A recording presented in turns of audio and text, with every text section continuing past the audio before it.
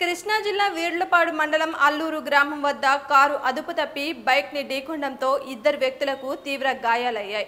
ఈ ప్రమాదంలో తీవ్ర గాయాలతో ఉన్న శీలం భరత్ రెడ్డి మానుకొండ భాస్కర్ రెడ్డిని స్థానికులు అంబులెన్స్లో విజయవాడ తరలించారు. అయితే మార్గం మధ్యలో భరత్ రెడ్డి అనే వ్యక్తి చనిపోయినట్లు పోలీసులు నిర్ధారించారు.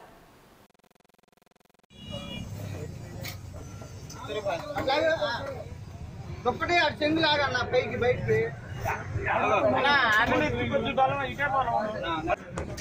ఒకరు ఒక ఎక్కడ రాయినా ఒకరు ఒక ఒకరు పట్టుకున్నా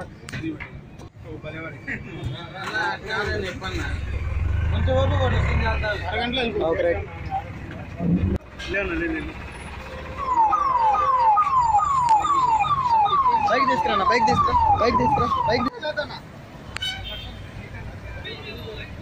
అప్పటికీ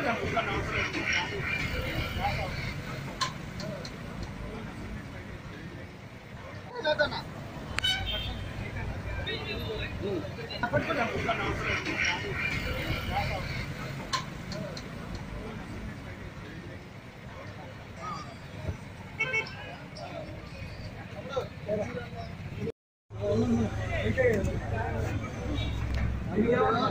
நேரம்